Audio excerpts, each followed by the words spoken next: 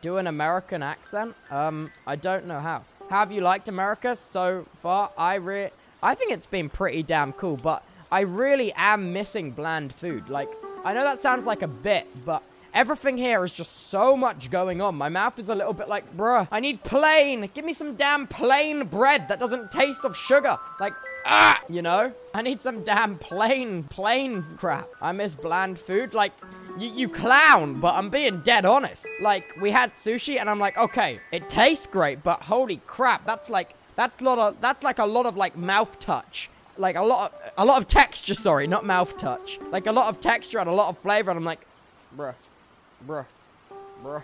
I need like a plain ham sandwich or something. Turbo Brit, three head. Damn, I like to think I'm Ickley's forehead. Come on.